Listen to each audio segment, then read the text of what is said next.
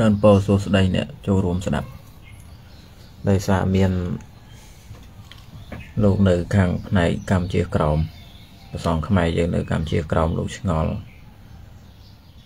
អំពីរូបភាពមួយចំនួនពាក់ព័ន្ធនឹងកុហកយើងដែលគាត់ចូលទៅពាក់ព័ន្ធនឹងរឿងសង្កម្មរបស់លោកជាពិសេសរឿងសីមា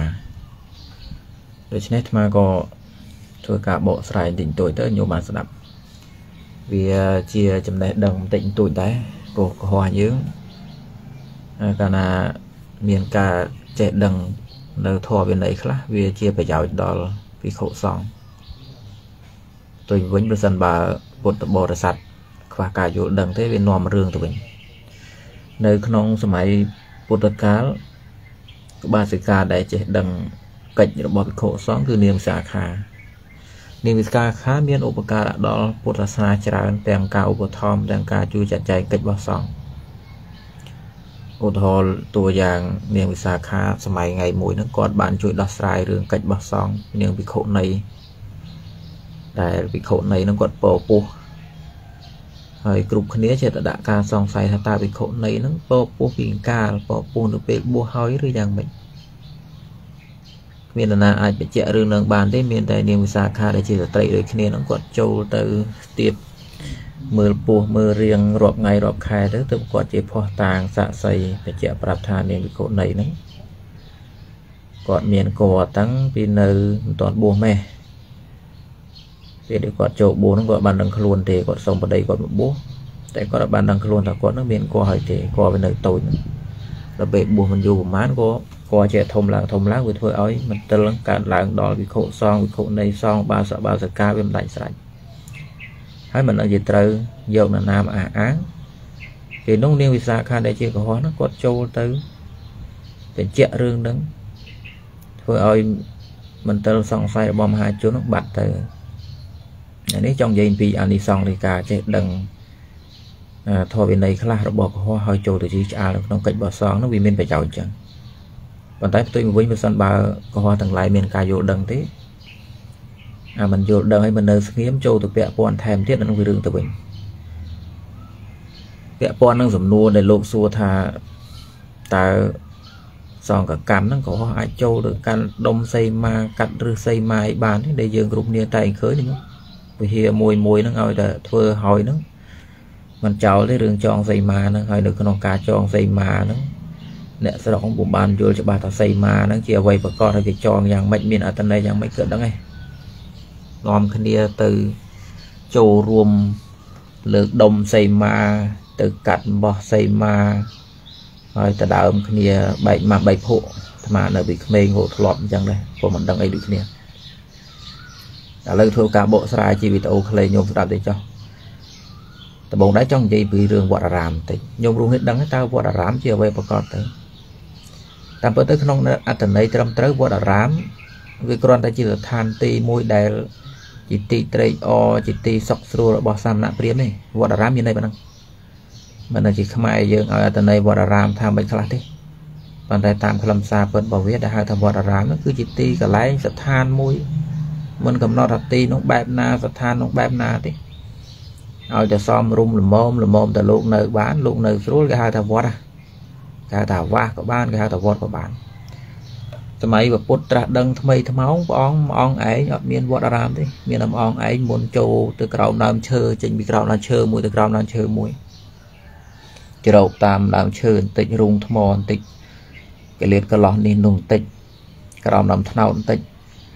ប៉ុន្តែក្រោយមកមានវិខុចូលបួសតាមទៅមានគ្នាច្រើននៅព្រៃលេងកើតម្យ៉ាងទិសដៅនៃការត្រាស់ដឹងគឺដើម្បីបញ្យលធម៌សត្វលោកឲ្យសត្វលោកនៅក្នុងក្រុងតា មិននៅព្រៃណាបើពពុទ្ធចេះតែនៅព្រៃមួយជីវិតតើបានបញ្យលធម៌អ្នកស្រុកយ៉ាងម៉េចដូច្នេះទិសដៅគឺត្រូវចូលស្រុកហើយដល់ពេលចូលស្រុកអត់មានកន្លែងនៅពេលនោះមានស្ដេចមួយអង្គដែលគាត់ជ្រះថ្លាជាមួយពពុទ្ធដបងគេហ្នឹងស្ដេចពនាមពុនពិសាក្នុងដែនដីមគ្គធៈហ្នឹងព្រះអង្គថ្វាយថ្វាយសួនឧស្សាហដូចស្ដេចយើងអញ្ចឹងណាព្រោះស្ដេច បើស្ដេចអ្នកមានគាត់មានឧស្សាហច្រើនច្រើនដូចស្ដេចថៃអញ្ចឹងគេមានវាំងតនេះគេមានវាំងតនោះគេមានឧស្សាហតនេះជាតនោះកន្លែងកំសាលអញ្ចឹងគេហើយទៅសម្បេយុរដ្ឋមន្ត្រីគាត់មានផ្ទះ4 5កន្លែងអញ្ចឹងបាទពំពិសាហ្នឹងគាត់ស្ដេចធំគាត់មានសួនរបស់គាត់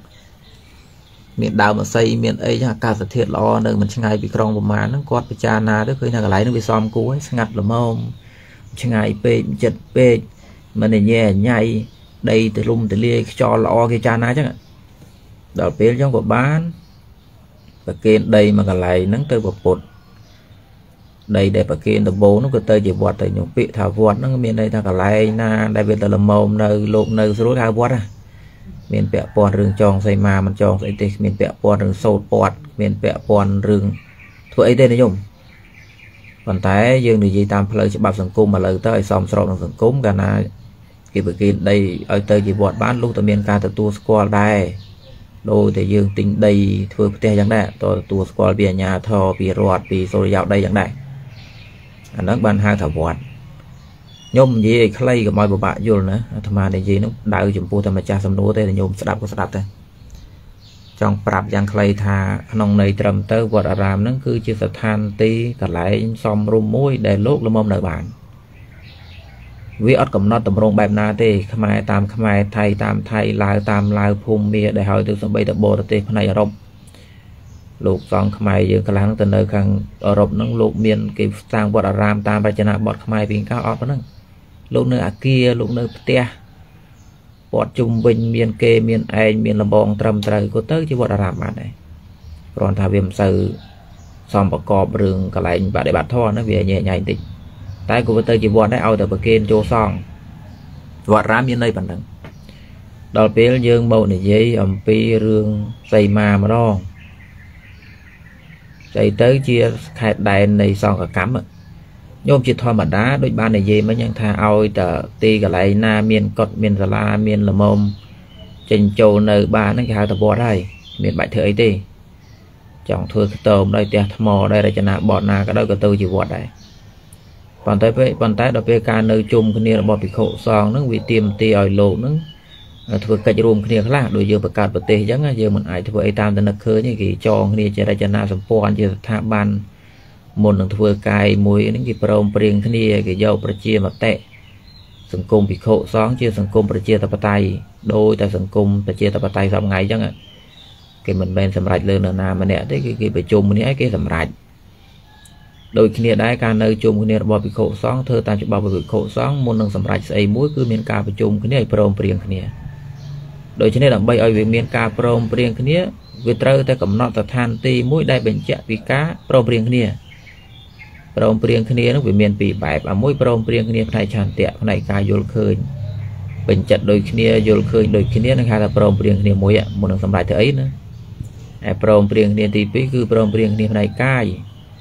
ត្រូវនៅក្បែរគ្នាត្រូវនៅក្នុងទីជាមួយគ្នាដូច្នេះវាទៀមទាឲ្យមានការកំណត់ខែដែនទើបគេបង្កើតពាក្យថាសីមាខ្ញុំសីមានៅក្នុងភាសាខ្មែរមានន័យថាភ្លឺមានន័យថាស្រែមានន័យថាខេត្តដែនមានន័យថាស្ថានទីកំណត់អញ្ចឹងណាដូចស្រែមួយអញ្ចឹងអាអាភ្លឺវាព័ទ្ធជំវិញហ្នឹងគេហៅសីមាហើយផ្ទះរបស់ញោមមួយអញ្ចឹងអាលបងព័ទ្ធជំវិញហ្នឹងគេហៅថាសីមាហើយវិហារមួយអញ្ចឹងទំហំ4ជ្រុងហ្នឹង កំណត់យកត្រឹមណាឧទាហរណ៍ត្រឹមអឺត្រឹមប្រកាន់ដៃវិហារចេញចូលអាហ្នឹងហៅថាសីមាមួយហ្នឹង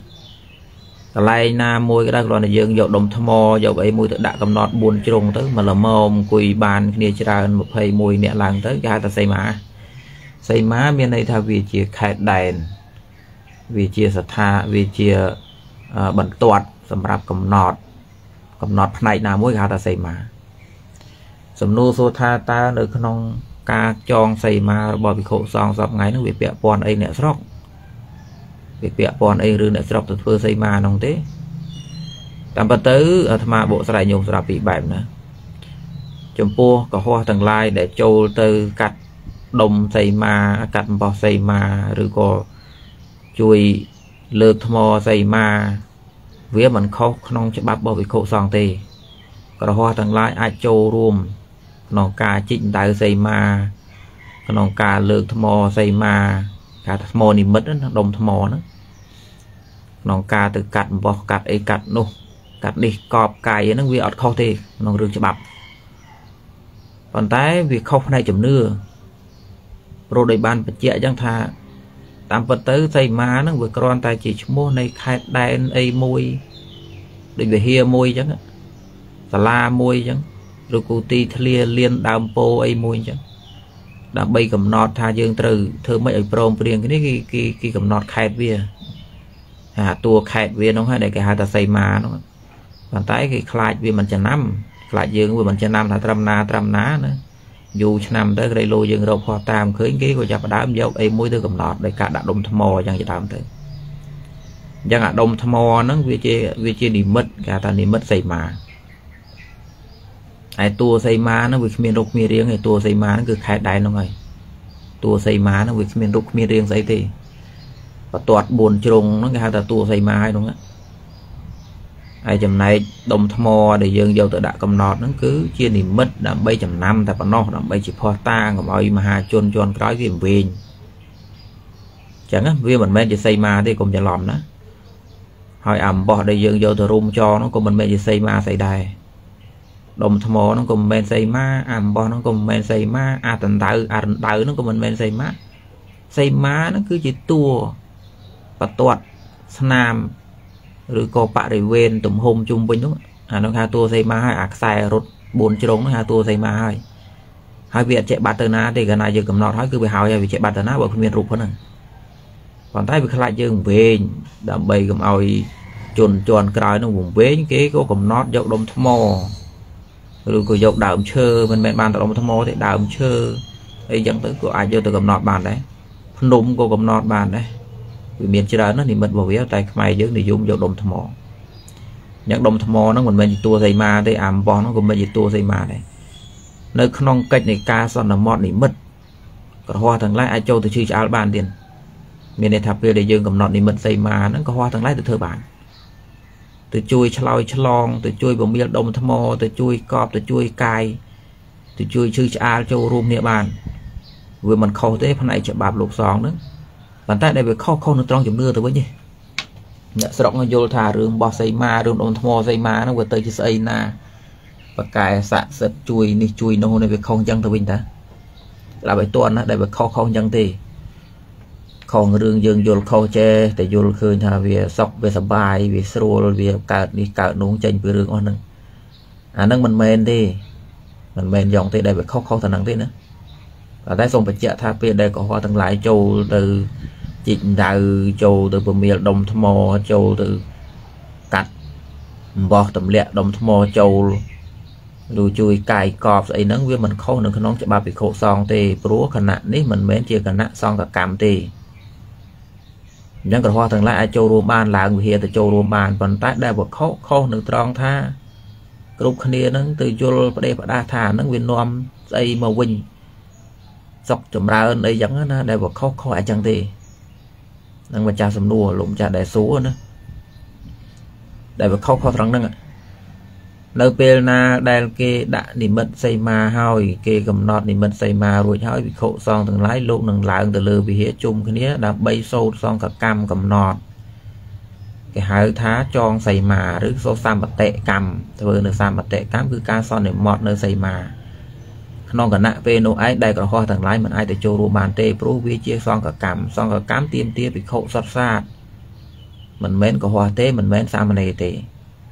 ឧទាហរណ៍ពេលពពោះក្តីពេលឧបសម្បទាក្តីពេលសន្នពេលដែលសោតបកុលសម្ពុតកឋិនក្តីកិច្ចផ្សេងផ្សេងរបស់ភិក្ខុសង្ឃពេលអបោសុតលោកឡើងជុំគ្នាលើវិហារកន្លះខែម្ដងនោះក្តី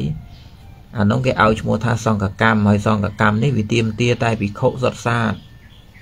ដែលលោកទាំងឡាយនឹងត្រូវឡើងទៅជុំគ្នាទៅអង្គុយក្បែរគ្នានៅក្នុងខេត្តដែនមួយមិនមែន ធ្វើទៅពីទៅពីថ្ងៃនេះទៅនោះម្ដងទៅនេះម្ដងទៅនោះទេ គឺធ្វើនៅទីសីមានៅទីដែលបានកំណត់គ្នាមកយូរហើយអាហ្នឹងគេហៅថាសង្កកម្មសង្កកម្មបែបហ្នឹងក៏មិនអាចចូលរួមទេមិនអាចទៅប្រសិទ្ធប្រសាចទៅច្រឡប់ច្រឡំនោះទេញោមបើនិយាយក្នុងន័យខ្មែរយើងដូចតការប្រជុំគ្នានៃមន្ត្រីរដ្ឋសភាព្រឹទ្ធសភាអញ្ចឹងគេមិនឲ្យយើងទៅចូលទៅពីទៅពីណាមិនយើងអាងថាខ្ញុំចាស់ប្រទេសមួយដែរពេលគេប្រជុំសភាហ្នឹងឯងទៅអង្គុយទៅ សំដែងយោបល់ស្អីអត់ទេគេយកតែអ្នកតំណាងរបស់ពលរដ្ឋទៅទេគេមានសិទ្ធិផ្ដាច់មុខរបស់គេក្នុងការធ្វើរឿងនោះអញ្ចឹងគូគេមិនមែនចេះតែដើរប្រជុំគ្នាតាមតុកកាហ្វេអញ្ចឹងដែរញោមញោមមានដឹងឯងគ្រប់គ្នាមានដឹងឯងថាការប្រជុំរបស់រដ្ឋសភាប្រសិនបើមន្ត្រីទាំងឡាយនៅទៅប្រជុំខុសទីណាมันយកជាការទេនាំគ្នាទៅតាក់តែងច្បាប់ទៅអនុម័តច្បាប់កន្លែងណាមួយខុសពីកន្លែងដែលបានកំណត់តាមច្បាប់នោះគឺអត់យកជាការទេវាលែងតែស្រុកនឹងកើត សង្គ្រាមកលយុបតនអាហ្នឹងគេក៏ប្រជុំទៅប្រជុំខុសកាលប្រជុំខុសទីក៏មិនជាអីដែរប៉ុន្តែជាប្រកក្តីគេត្រូវតែប្រជុំនៅក្នុងសាលារដ្ឋាភិបាលនោះបើប្រជុំក្រៅពីនឹងមិនយកជាការទេមិនយកជាការទេมันអាចប្រើបានទេដូចគ្នាដែរពេលដែលវិកុសងមុនសម្រាប់ធ្វើអីមួយប្រមព្រៀងគ្នារឿងអីមួយហ្នឹងលោកត្រូវតែប្រជុំគ្នាប្រជាមតិគ្នានៅក្នុងស្ថានទីមួយដែលជាក់លាក់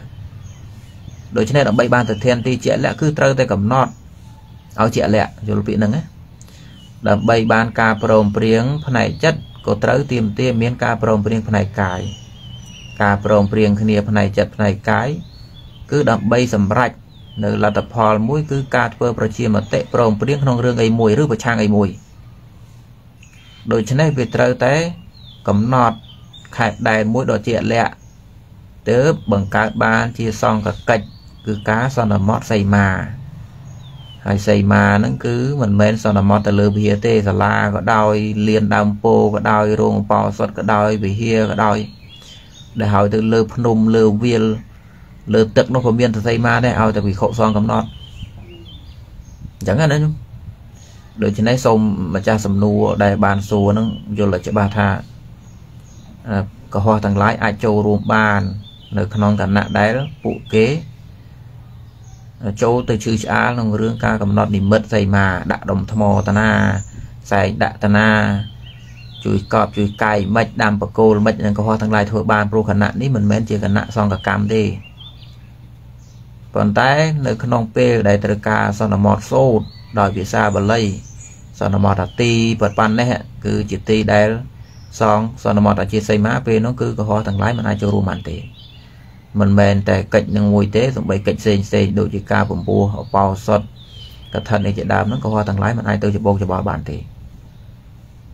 ដាក់បានទេហើយខ្ញុំកណាបានបញ្យល់ឲ្យថាហេតុអីបានជាចាំបាច់កំណត់អញ្ចឹងតើវាជាប្របីនីជំនឿបដិបដាស់អីទេវាមិនមែនទេ គឺជាហេតុផលមួយដូចដែលយើងធ្វើក្នុងស្រុកយើងអញ្ចឹងយើងតាំងជាសំណួរថាគ្រាន់តែត្រូវការប្រជាមតិអីមួយមិនក៏មិនប្រជាមតិតាមថ្នល់ទៅ តាមលានម៉ូតូតាមមុខវាំងតាមអីចឹងទៅទៅពីទៅពីតាមតុកាហ្វេទៅអត់ទេគេមិនប្រជុំគ្នាបែបនោះទេមន្ត្រីទាំងឡាយដែលជាតំណាងបពលរដ្ឋហ្នឹងរដ្ឋសភាព្រឹទ្ធសភាហ្នឹងគេមានទីជាក់លាក់របស់គេមួយគេមានថ្ងៃជាក់លាក់របស់គេមួយមុននឹងគេសម្រេចស្អីមួយហ្នឹងគេត្រូវតែចូលទៅក្នុងទីនោះប្រជាមតិគ្នាដើម្បីសម្រេចมันអាចយកជាការបានទេបើសិនបើមន្ត្រីទាំងអស់នោះណាត់គ្នាប្រជុំគ្នាតាមតុកាហ្វេសម្រេចគឺមិនយកជាការទេច្បាប់ហ្នឹងការសម្រេចហ្នឹងមិនយកជាការទេឈ្មោះថាខុស ដូចគ្នាដែរច្បាប់របស់ភិក្ខុសង្ឃនឹងពេលដែលត្រូវសម្រេចស្អីមួយនឹងលោកតែងឡើងទៅកាន់ឬចូលទៅកាន់ដែលទីដែលហៅថាសីមាហ្នឹងបន្ទាប់មកធ្វើប្រជាមតិអញ្ចេះអញ្ចោះទៅណាយក100លើ100មិនមែនដូចស្រុកខ្មែរយើង50%បូក1ទេច្បាប់របស់ភិក្ខុសង្ឃទាល់តែ100លើ100បានសម្រេចអញ្ចឹងការបង្កើតការចងសីមាមកហ្នឹងគឺដើម្បីបង្កើតការព្រមព្រៀងចឹងឯងសូមព្រះទាំងឡាយបានដឹងទៅ នៅក្នុងសំណួរហ្នឹងគ្មានអីបកស្រាយទេមានតែប៉ុណ្្នឹងទេណាសូមបញ្ជាក់ដល់ម្ចាស់សំណួរប៉ុណ្្នឹងតែប៉ុន្តែវាគ្មានអីត្រូវជ្រៅពិបាកយល់ទេដោយសារឃើញខុសទាំងឡាយនឹងមិនយល់អំពីរឿងនឹងផងបានជាខ្ញុំកណានឹងធ្វើការ live ជាសាធារណៈទៅជាកូនវីដេអូខ្លីមួយហ្នឹងថាឲ្យបានដឹងថាសីមាវាមិនពាក់ព័ន្ធនឹងរឿងត្រូវមានអំបោះត្រូវមាន ចូលទៅកាត់ទៅសូត្រស្អីជីកដៅហើយបងលុយបងកាក់អីចឹងទេអត់មានទេអានឹងវាជាការយល់របស់ខ្មែរយើងទេ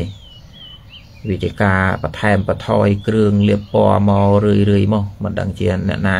នាំធ្វើឲ្យផ្ដើមចេញពីពេលណាខ្ញុំកណាក៏កើតមិនទាន់ដែរកើតមកឃើញតែអញ្ចឹងប៉ុន្តែវាខុសទេណាវាខុសទេព្រោះតាមន័យពិតរបស់វាសីមាវាជាឈ្មោះនៃខេត្តដែនបរិវេណមួយប៉ុណ្ណោះ ឧទាហរណ៍ដូចភ្លឺស្រែលបងផ្ទះអញ្ចឹងអាពាត់ជុំវិញហ្នឹងអានោះគេថាសីមាហើយចំណែកដុំថ្មស្អីដែលយើងយកទៅដាក់យើងយកទៅកប់យកទៅដាំហ្នឹងវាគ្រាន់តែជាគ្រឿងមួយដើម្បីឲ្យចំណាំកុំឲ្យយើងវែងតែប៉ុណ្ណោះអញ្ចឹងណាអញ្ចឹងមុននឹងយើងកំណត់ទីណាមួយថាជាទីសីមាយើងត្រូវយកស្អីមួយទៅដាំទុកចឹងឯងក្រហោះទាំងឡាយហ្នឹងអាចចូលទៅជឿឆ្អាលពេលនោះបាន ទៅជួយកែងដៅទៅជួយដាំបកគោទៅជួយសែងដុំថ្មដាក់ទៅជួយរបៀលដុំថ្មកប់ទុកអីចឹងទៅអាហ្នឹងគូក្រហោះទាំងឡាយជឿឆ្អាលលោកបានអត់ខុសអីទេតែដែលខុសខុសនៅត្រង់ថាពួកយើងចេះតែជឿទៅក្នុងរឿងប្រទេសផ្ដាស់ថាអំបោះដុំថ្មឬការធ្វើបែបនឹងវិនាំបានសេរីសួស្ដីស្អីណាមិនមែនទេអាអំបោះគេយកចងមន់ទៅអំបោះហ្នឹងស្រុកកណាគេយកធ្វើបច្ចេកជាគៀងទេពីដើមនោះ បើថាយើងសល់ច្រើនពេលយើងយកចងជើងមន់ហ្នឹងវាបានជាស្អីវាអត់ទេតែអ្នកស្រុកយើងយកមកពាក់ដៃយកមកពាក់កទៅពីទៅពីគ្មានអាណាប្រាប់ណាទេស្រុកយើងនឹងស្រុកអត់មេបាមានណាប្រាប់ណាទេហើយបើសិនតែជឿឆ្អាលនិយាយច្រើនទៅវាមានតែរឿងច្រើនទៀតថានិយាយថាចុះប៉ុន្តែវាជៀសមិនរួចខ្ញុំកណាមិនគិតថាពិបាកយល់អីទេមិនចាំបាច់និយាយប៉ុន្តែបើសួរទៅក៏ប្រាប់ទៅតែរឿងតែប៉ុណ្្នឹងទេដែលខ្ញុំខ្ញុំណាឆ្ងល់ពីរឿងសីមាហ្នឹងមើលវីដេអូហ្នឹងទៅមិនបាក់យល់ទេណាសូមបញ្ចប់ប៉ុណ្្នឹងក្នុងពេលព្រឹកនេះ